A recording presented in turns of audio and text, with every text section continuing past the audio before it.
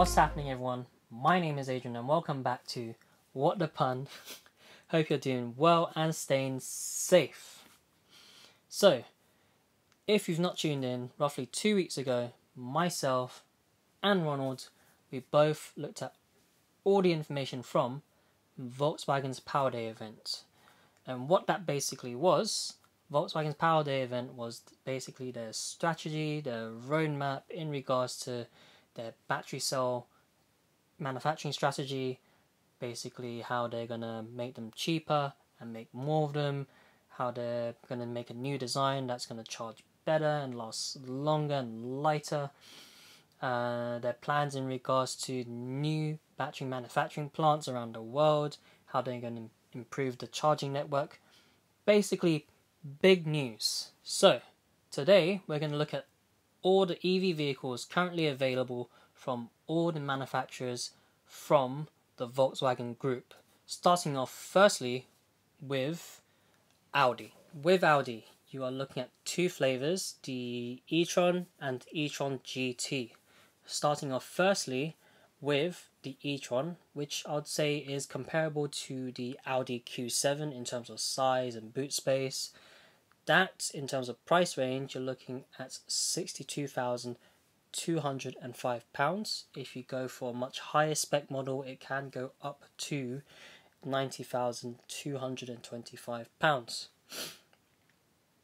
In terms of range, you're looking at 224 miles to about 249 miles depending on model and 0 to 62 you're looking at 4.5 seconds to 5.7 seconds as well. Okay, so the second one, which is the e-tron GT, prices start from £80,850. If you go for the top spec model, which is the e-tron GT Carbon Vorsprung, you're looking at £134,290. In terms of a comparable model, I'd say you can it's roughly like an Audi A7 in terms of sizing. Um, in terms of range, you're looking at 283 miles to 296 miles as well. 0 to 62, 3.3 seconds to 4.1 seconds depending on the model you go for. Okay, so with the two flavors Audi currently offer in terms of their pricing, styling, uh, quality, and the performance I would say it's very much comparable to something like a Tesla Model S, Model X, a Porsche Taycan. Uh, so it's in that category of luxury EV vehicles. Okay, moving on. Next, we'll be looking at what Bentley and Bugatti have to offer in terms of EV vehicles. In terms of EV options they currently have on the market for consumers, it is nothing.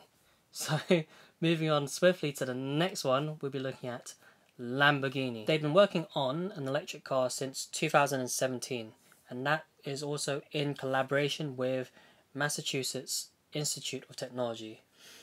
In terms of how it looks, I mean, it looks insane, it looks crazy, it looks like it's going to be really fast, and it also looks like it's not going to be very practical. But when you're paying so much money for something that crazy, who cares about practicality? And in terms of what we know about the car currently, not a lot.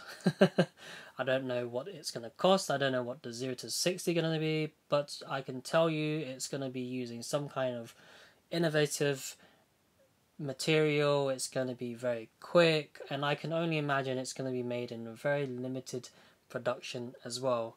Uh, but I believe production of it is starting or it's on the way this year. Next up, we have Porsche. In terms of EV vehicles, they currently offer the Taycan, and they offer the Taycan in many different versions. So, starting off with the base version, you're looking at it to start from £70,690 and it can go all the way up to almost £140,000 and that's before adding any of your personalized options and that would be for the Porsche Taycan Cross Turismo Turbo S. In terms of range, you're looking between 240 to 300 miles, 0 to 62 from 2.9 seconds to 5.4 seconds depending on the model you go for. Okay, so in terms of pricing and performance, as you can see, the Porsche Taycan is very similar in terms of their pricing and performance in comparison to the Audi options. Next up, we have the Seat Mii, which is basically the Volkswagen Up. So the EV version of this vehicle is currently at twenty thousand and three hundred pounds. Range you're looking at about 160 miles, which is roughly the average of uh, EV vehicle of this size in terms of range. Moving on, next we have Skoda. Skoda currently in the UK only offer one EV option, which is the Enyaq iV. I hope I pronounced that right. But yes, the Enyaq iV is Skoda's only EV option within the UK. It's uh, basically based on the Volkswagen ID4, which uses the MEB platform. In some countries, Skoda actually offer another EV option, which is called the Citigo iV. The Citigo is basically also like Seat's Mii, based on the Volkswagen Up. Okay, so in terms of price range for the Enyaq iV, you're currently looking at £31,995 and it can vary all the way up to 42,900. In terms of range, you're looking at 256 uh, all the way up to 327. 0 to 62, you're looking at 8.5 to 8.7 seconds. Last up, we have Volkswagen. So Volkswagen currently offer in the UK the ID4, which is the latest addition to their EV lineup. Then we have the ID3, the E Up, and the E Golf. So starting off with the ID4, Currently, they're only offering the first edition, so I but I believe shortly they will have other variations of the ID4. But in terms of the ID4, prices start from £40,800, 0 to 62 at 8.5 seconds, and a range of 310 miles. The ID3 prices start from about £32,470 all the way up to 42,600. Uh, 0 to 62, you're looking at anywhere between the 7.3 to 9.6 seconds, depending on which motor you go for. And in terms of range, you're looking at roughly about 263 miles. Next, we have the E Up, which starts from 23,555 pounds. 0 to 62, 11.9 seconds, a range of about 160 miles. Lastly, we have the E Golf, which is at 27,575 pounds, um, 0 to 62, 9.6 seconds, and a range of about 144 miles.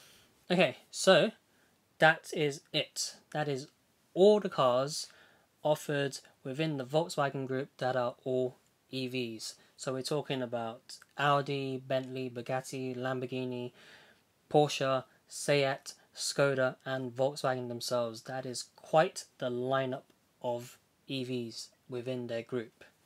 And I can only imagine it doesn't stop there because there's probably a lot more EV vehicles to come in the future as well.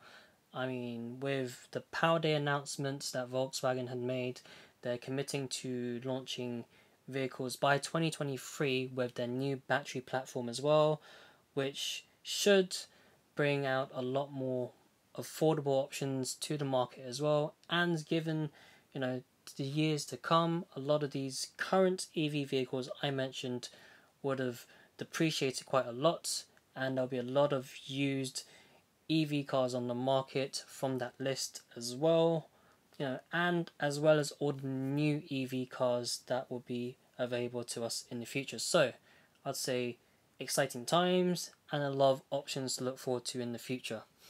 Okay, so before we wrap up, please drop a comment down below and let me know what your thoughts are on Volkswagen Group's lineup of EV vehicles.